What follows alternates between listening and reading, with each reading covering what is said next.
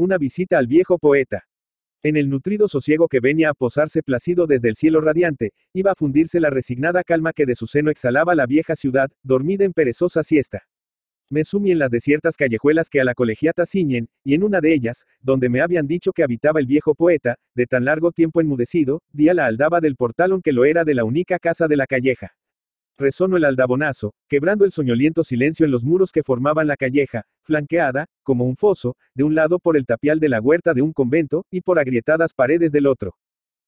Me pasaron, y al cruzar un pequeño jardincillo emparedado, uno de esos mustios jardines enjaulados en el centro de las poblaciones, vi a un anciano regando una maceta. Se me acerco. Era su conocidísima figura. Ahora mismo subo, me dijo. No, prefiero hacerle aquí la visita. ¿Qué más da? Como usted quiera. Rosa, baja unas sillas. Desprendíase una calmosa melancolía de aquel pedazo de naturaleza encerrada entre las tapias de abigarradas viviendas. Dos o tres arbolillos se alzaban al arrimo de ellas, en busca de sol, y en ellos se refugiaban los pájaros.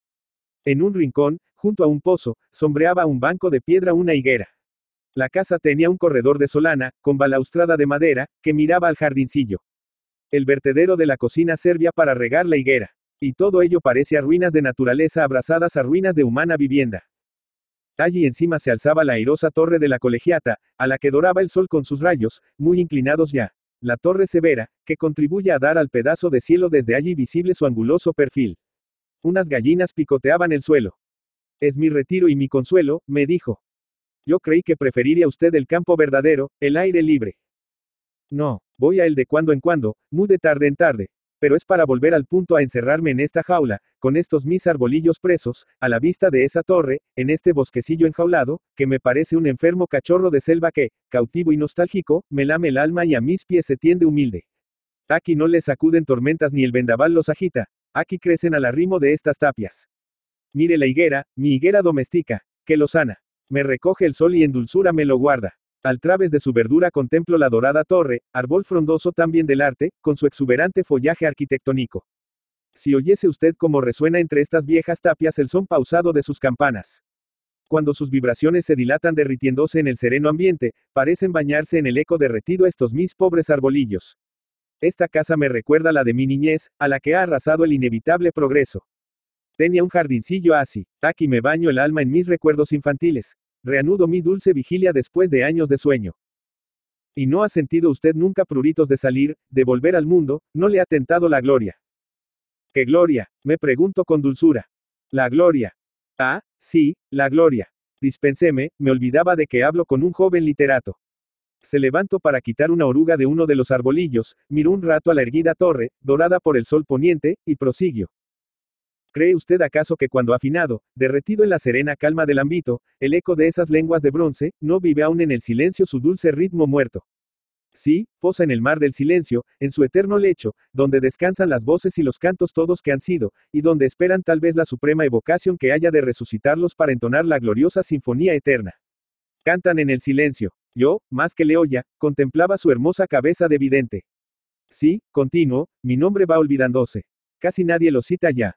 Pero es ahora, en que se olvida mi nombre, cuando obra acaso mi espíritu, difundido en el de mi pueblo, más viva y eficazmente. Producese un pensador o un artista, y mientras su obra no posa en el alma de su pueblo, mientras les extraña este y en el choca, necesita llevar el nombre de su padre. Más cuando se hace nuestro pensar, pensar de los que nos rodean, cuando nuestro sentir se aúna al sentir de nuestro pueblo, haciéndolo más complejo, cuando nuestra voz se acuerda al coro enriqueciéndola como un sinfonía, entonces nuestro nombre se hunde poco a poco. Nuestras ideas lo son ya de todos. El busto de nuestra moneda se ha borrado, y con él la leyenda, y la moneda corre porque es de oro de ley. Cuando menos se habla de un escritor, suele ser muchas veces cuando más influye. Tal vez, empece, y él, sin oírme, continuo. Mi nombre, para que he de sacrificar mi alma a mi nombre, prolongarlo en el ruido de la fama. No, lo que quiero es asentar en el silencio de la eternidad mi alma. Porque, fíjese, joven, en que muchos sacrifican el alma al nombre, la realidad a la sombra. No, no quiero que mi personalidad, eso que llaman personalidad los literatos, ahogue a mi persona, y al decirlo se tocaba el pecho. Yo, yo, yo, este yo concreto que alienta, que sufre, que goza, que vive, este yo intransmisible, no quiero sacrificarlo a la idea que de mí mismo tengo, a mí mismo convertido en ideal abstracto, a ese yo cerebral que no se esclaviza. Es que el yo que usted llama concreto, Es el único verdadero. El otro es una sombra, es el reflejo que de nosotros mismos nos devuelve el mundo que nos rodea por sus mil espejos, nuestros semejantes. ¿Ha pensado usted alguna vez, joven, en la tremenda batalla entre nuestro íntimo ser, el que de las profundas entrañas nos arranca, el que nos entona el canto de pureza de la niñez lejana, y ese otro ser advenedizo y sobrepuesto que no es más que la idea que de nosotros los demás se forman, idea que se nos impone y al fin nos ahoga? Alguien llamaría egoísmo a eso. Me atreví a insinuarle deprisa, antes de que, arrepentido, recogiese mis palabras. Egoísmo. Me contesto con calma. Oh, sí, ahora han inventado eso del altruismo. Altruismo. Eso sí que es inmoral e inhumano. Sacrificar a mi idea, porque no es más que a una idea lo que se sacrifica. Sacrificar a mi idea, a la mía, entiéndalo, a todos mis prójimos, incluso a mí mismo, mi primer prójimo, el más prójimo o próximo a mí. Parece hundirse en algún recuerdo remoto de esos de fuera del tiempo, y prosiguió. No quiero devorar a otros, que me devoren ellos. Qué hermoso es ser víctima. Darse en pasto espiritual, ser consumido, diluirse en las almas ajenas.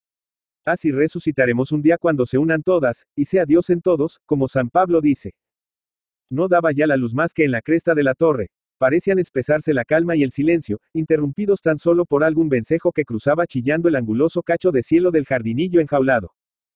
Mire usted, mire usted al gato como trepa por ese arbolillo a la ventana de la cocina. Arriba caza ratones. Aquí, entre los árboles, pajarillos. Y me entretiene mucho. ¡Qué vida! dirá usted. Aquí, con sus arbolillos, su higuera triste, su concierto de pájaros, su gato, sus gallinas, sus flores, regando sus recuerdos y cultivando su tristeza.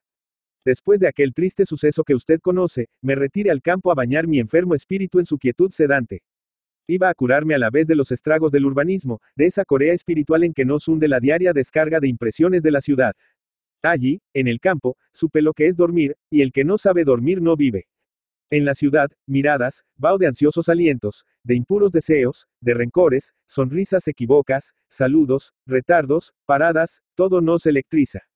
Es una serie continua de insignificantes punzadas, de cosquilleos imperceptibles, que nos galvanizan la vida y al fin nos rinden. Y fui a recibir el gran baño, la inmersión en aire libre, en luz libre, en libre calma, en el remanso de las horas tranquilas. Y allí a pensar rítmicamente, con calma, con todo el cuerpo y con el alma toda, no con el cerebro tan solo, asiento de lo que ustedes llaman personalidad. Interrumpióle la voz sonora de la campana de la colegiata, que tocaba a la oración de la tarde. Miro a sus arbolillos, que parecían escucharle, y callo un rato. Respete su silencio. Y luego, con calma, dijo.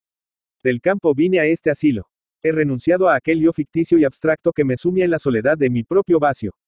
Busque a Dios a través de él, pero como ese mi yo era una idea abstracta, un yo frío y difuso, de rechazo, jamás di con más Dios que con su proyección al infinito, con una niebla fría y difusa también, con un Dios lógico, mudo, ciego y sordo. Pero he vuelto a mí mismo, al pobre mortal que sufre y espera, que goza y cree, a aquel a quien despiertan los sobresaltos del corazón enfermo, y aquí, en este pobre jardinillo, junto a estos mustios y silenciosos amigos, me dedico a la más honda filosofía, que consiste en repensar los viejos lugares comunes. Medito las palabras de la señora Paula, una buena vecina, inagotable en las tan conocidas reflexiones del vulgo acerca de la caducidad de la dicha y de la necesidad de la resignación. Y otras veces, a la sombra de esa higuera, armonioso órgano de pardales y becafigos. Leo el Evangelio, y en él se me muestra el Hijo del Hombre, el hombre mismo, palpable, concreto, vivo, y por Cristo, con quien hablo, subo a su Padre, sin argumentos de lógica, por escala cordial. ¡Qué vida! murmure. Y él, que me lo oyó. Sí, dijo, ya sé que ustedes disertan mucho acerca de la vida, y dicen que hay que amarla. Pero la tienen de querida y no de esposa. La vida, en ella me he enterrado, he muerto en vida en ella misma. Hay que vivir. ¿Y para qué? Esto es, ¿para qué? Para que todo, dígamelo. ¿Para qué? ¿Para qué? No quiero inmolar mi alma en el nefando altar de mi fama. ¿Para qué? Cuando salí, de noche ya, parecía que al son de mis pisadas, que retumbaban en el tenebroso silencio de la solitaria calleja, vagaba por ella con quebrado vuelo, cual invisible murciélago, esta pregunta. ¿Para qué? Publicado en la Ilustración Española y Americana, Madrid, 8, y X, 1899. Miguel de Unamuno. Miguel de Unamuno y Jugo Bilbao, 29 de septiembre de 1864, Salamanca, 31 de diciembre de 1936, fue un escritor y filósofo español perteneciente a la generación del 98. En su obra cultivó gran variedad de géneros literarios como novela, ensayo, teatro y poesía. Fue, asimismo, diputado en Cortes de 1931 a 1933 por Salamanca. Fue nombrado rector de la Universidad de Salamanca tres veces, la primera vez en 1900 y la última, de 1931 hasta su destitución, el 22 de octubre de 1936, por orden de Franco.